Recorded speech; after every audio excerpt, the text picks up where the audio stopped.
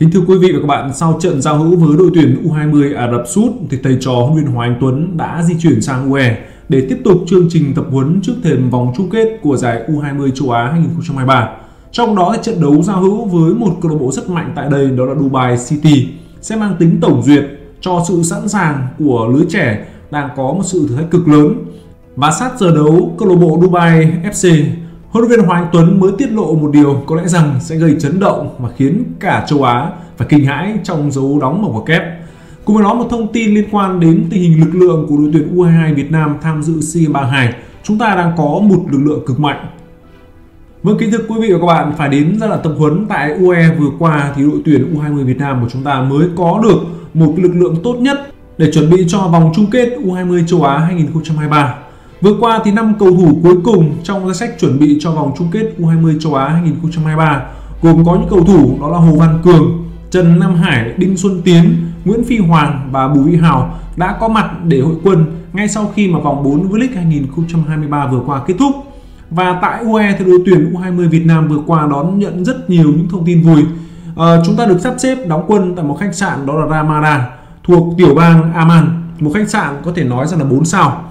Sân tập của thầy trò huấn viên Hoàng Anh Tuấn cũng không quá xa bởi chỉ cách khách sạn này trong vòng khoảng có 15 phút di chuyển bằng xe buýt mà thôi. Và đây là một sân động có một mặt cỏ vô cùng lý tưởng, rất chất lượng, xanh mướt và vô cùng mềm mại. Theo kế hoạch thì đội tuyển U20 Việt Nam sẽ thi đấu giao hữu với Dubai City FC vào ngày 23 tháng 2. Huấn luyện viên Hoàng Anh Tuấn hiện nay đang rất mong chờ vào trận đấu giao hữu này bởi đây là một trận đấu mà ông đang có được một lực lượng trong tay mạnh nhất giống những gì mà ông đã từng chia sẻ bởi trong quãng thời gian vừa qua khi mà V-League thi đấu thì ông ấy không có được những lực lượng tốt nhất khi mà những cầu thủ họ không thể tập trung. Và giờ đây thì đương nhiên chúng ta đang có được một lực lượng mạnh nhất liên quan đến đội tuyển U20 Việt Nam. Và khi có được một lực lượng mạnh nhất rồi thì ban luyện cũng như là huấn luyện viên Hoàng Anh Tuấn sẽ tiếp tục có những sự đánh giá, có sự giả soát các vị trí, đặc biệt là đối với các nhóm cầu thủ vừa qua mới lên đội quân cùng đội tuyển U20 Việt Nam để chuẩn bị cho việc và tham dự vòng chung kết U20 châu Á 2023. Tiết lộ về chuyên môn khi phải đối đầu với các cầu thủ quá mạnh hiện nay tại vòng chung kết U20 châu Á 2023. Huấn luyện viên Hoàng Anh Tuấn có một chia sẻ và cho rằng đợt tập trung lần này thì ông cũng chỉ mong rằng các cầu thủ sẽ làm quen với chiến thuật mới và đáp ứng được những yêu cầu khi mà tham đấu dự một cái giải đấu lớn như thế này. Và huấn luyện viên Hoàng Anh Tuấn có chia sẻ như thế này. Cấp độ Đông Nam Á khác rất nhiều với cấp độ châu Á. Bảng đấu của chúng ta lại vòng chung kết U20 châu Á 2023 là những Australia, Iran và Qatar. Đó là những đội bóng rất mạnh với khả năng chuyên môn hơn mình. Vì thế chúng tôi cũng có những phương án chuẩn bị cho những cầu thủ để sẵn sàng có những sự chuẩn bị khi mà thi đấu tại vòng chung kết để có được một kết quả chấp nhận được. Chắc chắn là chúng tôi sẽ chơi tấn công rồi. Tùy vào đối thủ thì tất nhiên là đối thủ mạnh thì mình sẽ chơi tấn công. Thế nhưng đó không phải là xu hướng cho cả một trận với cách chơi đấy thì những cầu thủ sẽ phải phát triển tốt hơn. Nếu đá mãi phòng ngự thì không bao giờ bóng đá phát triển được. Biết rằng đây sẽ là một giải đấu rất khó khăn nhưng trong tập luyện thì chúng ta cũng phải làm quen. Thích ứng, các buổi tập sắp tới sẽ hoàn toàn là chơi tấn công. Đó là những gì mà huấn luyện Hoàng Anh Tuấn có chia sẻ và phân tích. Và vòng chung kết U20 châu Á 2023 sẽ diễn ra tại Uzbekistan từ ngày 1 tháng 3 đến ngày 18 tháng 3 tới. Và như được biết thì chúng ta đang làm một bảng đấu cực kỳ khó khăn. Thế nhưng để nói rằng là hiện nay thì chúng ta cứ tấn công, tấn công, tấn công thì liệu rằng đối với các cổ động viên chúng ta có thích không? Đương nhiên thì với một thế trận tấn công thì với cá nhân của các cổ động viên họ cũng rất là thích rồi, rất muốn có những những bàn thắng. Thế nhưng bên cạnh đó chúng ta phải hiểu rằng là để có được những kết quả tốt và đối đầu với các đối thủ không phải bất cứ một đối thủ nào chúng ta cũng chưa tấn công được. Hãy nhìn sang xem Campuchia vừa qua xem họ cũng luôn luôn yêu cầu là phải tấn công, chơi tấn công và đẹp mắt nhưng cuối cùng họ giành được những cái gì? Không là cái gì cả, không có bất cứ một điều gì cả. Vì vậy mà tôi nghĩ rằng với bất cứ một đối thủ nào thì chúng ta cũng cần phải có những tính toán hợp lý. Có những đối thủ thì chúng ta có thể chơi tấn công nhưng với những đối thủ họ mạnh hơn thì chúng ta cũng không thể chơi như vậy được. Bởi nếu cứ tấn công như vậy, chúng ta rất dễ toàn và sẽ đón nhận những trận thù bẽ bảng và điều đó chắc chắn thì các cổ động viên cũng không hề mong muốn một chút nào cả. Chúng ta nhìn sang cái thời của Harry Park Hang-seo mặc dù người ta nói rằng thầy Park là một con người thích chơi phòng thủ nhưng thực tế mà nói, với việc là những cái thống kê sau khi mà thầy Park chia tay cùng bóng đá Việt Nam, thì thầy Park mới chính là một trong những huấn luyện viên mang đến rất nhiều bàn thắng dành cho đội tuyển của chúng ta, ở rất nhiều các cấp độ khác nhau.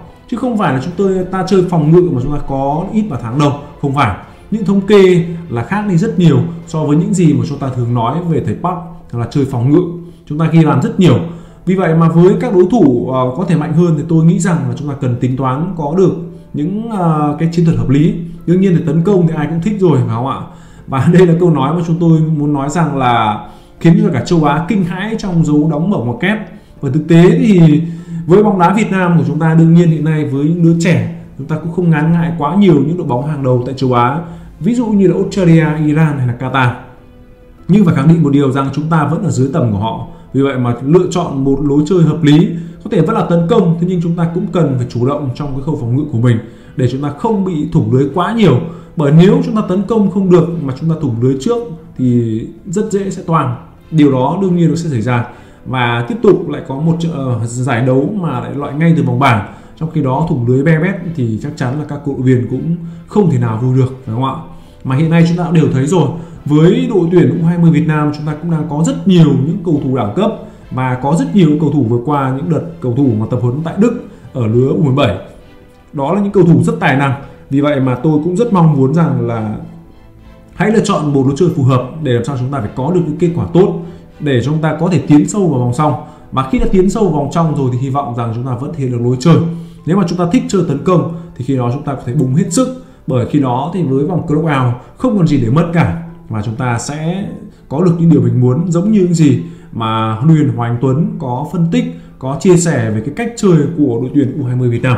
Đó chính là tấn công tấn công và tấn công. Nhưng như tôi đã nói chúng ta cần phải có sự tính toán hợp lý để làm sao ít nhất đầu tiên là chúng ta uh, phải ờ, tận dụng được cơ hội cũng như là chúng ta phải thực dụng một chút có mặt tại vòng tứ kết khi mà vượt qua vòng bảng. Với đối thủ đương nhiên là đánh giá trên cơ chúng ta khá nhiều phải không ạ?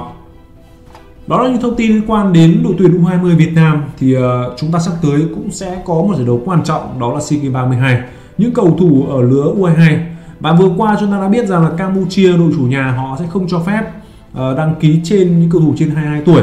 Vì vậy mà tất cả những cầu thủ ở đội tuyển U22 Việt Nam đều sẽ là những cầu thủ dưới 22 tuổi thôi.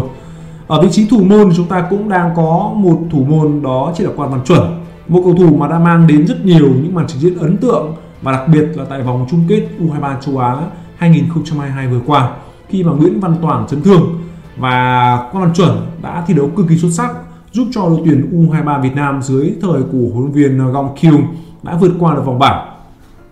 Và một à, vị trí khác nữa đó là thủ môn à, Cao Văn Bình của câu lạc bộ Sông Lam Ngàn hoặc là đoàn Huy Hoàng của Viettel.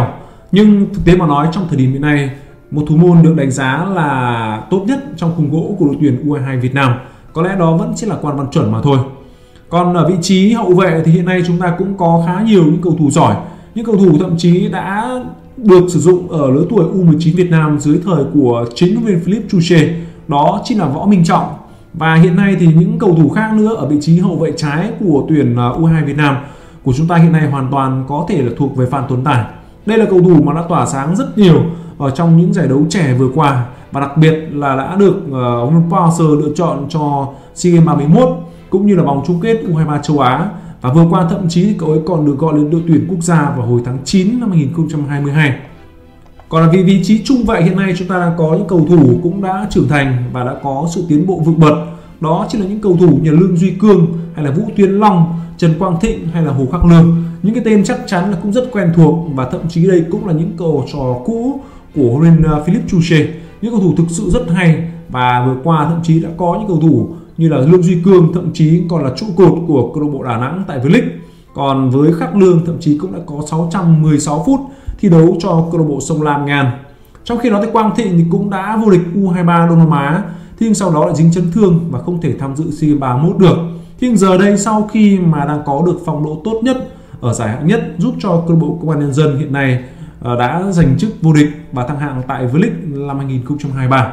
Và hiện nay thì hậu vệ phải của đội tuyển U20 Việt Nam sự cạnh tranh giữa Hồ Văn Cường và Lê Văn Đô. Đây chắc chắn là những cái tên mà chúng ta cũng đã quen thuộc, rất quen tên rồi. Bởi uh, trong khi Văn Cường hiện đang mạnh về những khả năng khoét biên để tạt bóng thì uh, Văn Đô thiên về khả năng kiểm soát bóng và cũng khả năng là hỗ trợ tấn công cực tốt. Cũng đã có những siêu phẩm và lưới của những đội bóng ở tại Đông Nam Á vừa qua.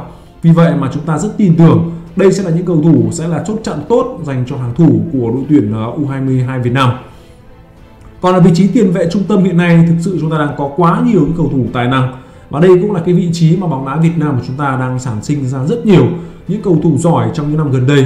Ví dụ như là Huỳnh Công Đến, Đinh Xuân Tiến, Nguyễn Văn Trường và đặc biệt đó chính là Khuất Văn Khang.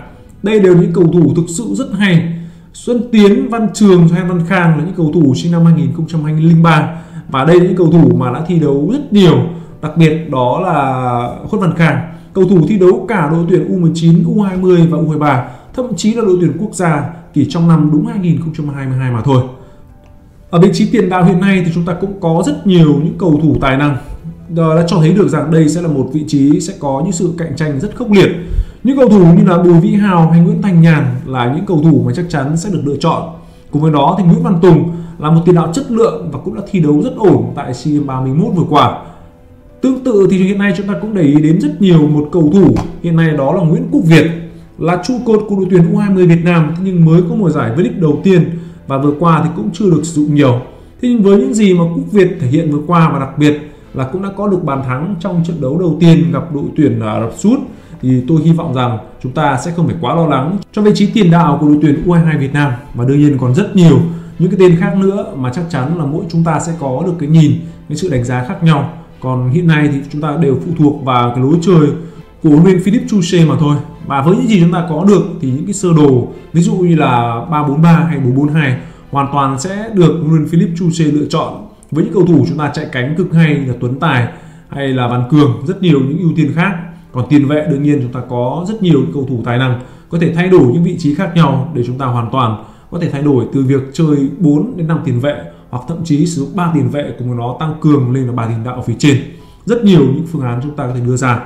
Với những lực lượng đang có với đội tuyển U22 Việt Nam thì rất nhiều các cổ động viên đang mong chờ chúng ta sẽ tiếp tục có lần thứ ba liên tiếp được uh, giành được tấm huy chương vàng SEA Games giống như những gì mà đội tuyển nữ Việt Nam chúng ta đã làm được. Hy vọng rằng chúng ta sẽ thành công. Uh, niềm tin rồi là củng cố được cái niềm tin dành cho các cổ động viên hiện nay có lẽ rằng đấy sẽ là điều quan trọng nhất dành cho tân huy trưởng của đội tuyển quốc gia Việt Nam huấn luyện Philip Chuche đúng không ạ? Có thể hiện nay thì cũng có nhiều người chê bai chỉ trích thậm chí là chưa đá chưa dẫn dắt chúng ta cũng đã chê rồi. Nhưng dù sao thì mọi thứ vẫn còn trước mắt.